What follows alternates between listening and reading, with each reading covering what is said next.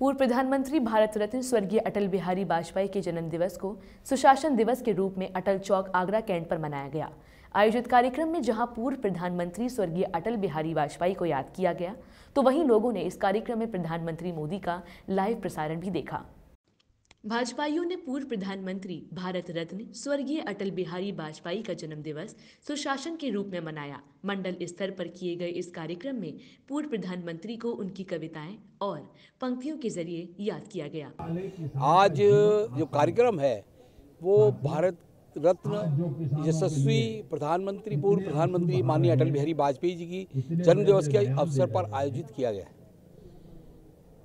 माननीय अटल बिहारी वाजपेयी ने जो देश के लिए किया आज जो सड़कों का जाल आप देखते हैं वो पोखरण का विस्फोट हो वो या अमेरिका द्वारा लगाए गए आर्थिक प्रतिबंध हो। उन्होंने एक लोह पुरुष की भांति और अटल रहकर इन सब कामों को किया। आज जो देश में प्रधानमंत्री मोदी जी कर रहे हैं वो पूरी तरीके से माननीय अटल बिहारी वाजपेयी जी के पद चिन्हों पर चलते हुए इस देश को वैभवशाली गौरव की ओर ले जा रहे हैं। इस अवसर पर मैं अटल जी की एक कविता की कुछ लाइनें अवश्य कहना चाहूँगा। गैस के मुक्त कनेक्शन भरी दोपहरी में अंधियारा।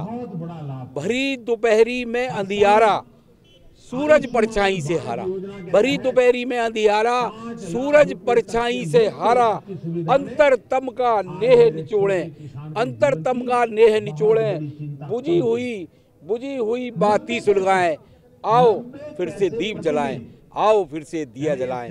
आओ फिर से दिया जलाएँ। धन्यवाद। आगरा कैंट अटल चौक व महानगर भाजपा महानगर छावनी परिषद मंडल द्वारा आयोजित कार्यक्रम में समस्त भाजपा कार्यकर्ताओं ने भाग लिया। इसके साथ ही प्रधानमंत्री के लाइव भाषण को सुना। आज एक एकड़ का काम होता था तीन एकड़ का हुआ अटल बिहारी वाजपेयी जी की जयंती पर पूरे सभी मंडलों में प्रयास किया। उनकी जयंती मनाई जा रही है। आज हम सभी यहाँ एक अटल चौक पर आगरा छावनी के अटल चौक पर हम लोग एकत्रित हुए हैं। और पूर्व प्रधानमंत्री भारत रत्न श्रद्धेय श्री अटल बिहारी वाजपेयी जी को श्रद्धांजलि अर्पित करने के लिए यहाँ एकत्रित हुए हैं। और पिछले कुछ दिनों से लगभग एक महीने से आप देख रहे हैं कि देश में दिल्ली की जैसी राजधानी के चारों ओर बॉर्डर पर किस तरह से अखबारों में गलत तरीके से गुमराह कर किसान आंदोलन चलाया जा रहा है। कृषि कानूनों के खिलाफ जबकि ऐसा कुछ नहीं है। अभी आप सभी ने सुना कि प्रधानमंत्री नरेंद्र मोदी जी ने सभी अलग अलग राज्यों के किसानों से वार्ता की है। और वार्ता करने के बाद किस तरह से ये कृषि बिल लाभकारी है ये किसानों ने स्वयं बताया और यहाँ भी। बताया ये भी प्रधानमंत्री जी ने सीधे पूछा का क्या ये जो कृषि बिल से आपके ज़मीन को हथियाया जा रहा है? तो किसान ने कहा नहीं साहब वो तो केवल हमसे फ़सल खरीद रहे हैं जो हम खेती कर रहे हैं जो फ़सल उगा रहे हैं वो खरीदते हैं ज़मीन तो सुरक्षित है हमारी।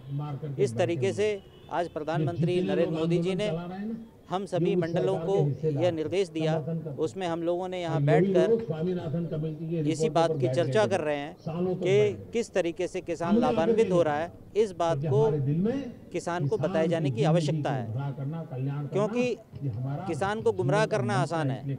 और मुझे ये नहीं लगता कि ये आंदोलनकारी सिर्फ़ किसान ही हो मुझे तो सिर्फ़ ये महसूस होता है के कांग्रेस पंजाब के सहारे अपना अस्तित्व बचाने के प्रयास कर रही है।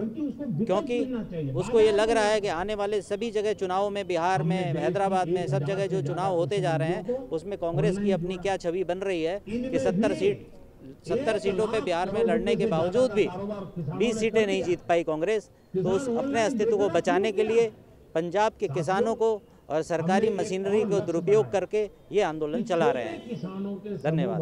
प्रधानमंत्री के लाइव कार्यक्रम में उन तमाम मुद्दों के बारे में चर्चा की जिन पर विपक्ष राजनीति कर रहा है तथा लोगों को संबोधित करते हुए प्रधानमंत्री ने कहा कि किसान कानून पर विपक्ष आज लोगों को गुमराह कर रहा है।